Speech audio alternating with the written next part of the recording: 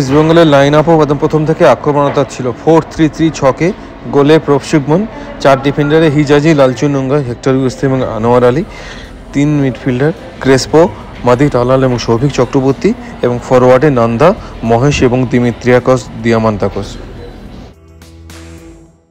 অসাধারণ খেললো ইস্ট বেঙ্গল আজকে বসুন্ধরা এফসির সাথে। আজকে এফসি লিগে খেলা ছিল প্রথমে এক মিনিটের মধ্যে ডিমেট্রিকাস ডিয়ামান্টাকস গোল করে ইস্ট বেঙ্গলকে এগিয়ে গিয়ে দিল। সতেরো মিনিটেও একটা চান্স পেল ইস্ট বেঙ্গল দুই শূন্য গোলে এগিয়ে যাওয়ার সুযোগ ছিল।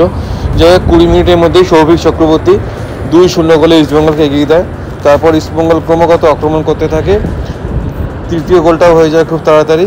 আর তারপরে থার্টি থ্রি মিনিটে আনোয়ার আলী লালচং নোঙ্গর একটা থ্রো থেকে চার শূন্য গোলে ইস্ট বেঙ্গলকে এগিয়ে দিল।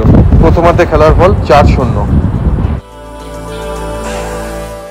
ইতিহার্ধে গোলের ব্যবধান না পারলেও ইস্ট বেঙ্গল বরাবরই ডমিনেট করে খেলে গেছে। খুবই সুন্দর এই জয়। চার শূন্য গোলে জয় আমাদের, আজকে আমাদের দিন। জয় ইস্ট বেঙ্গল এই তেরো নম্বর টিমটাই দেশের মান রক্ষা করল।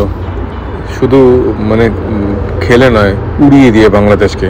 এই তেরো নম্বর টিম এইবার আমাদের ওঠার পালা। দেখি, কার দম আছে ইস্ট কার কাবার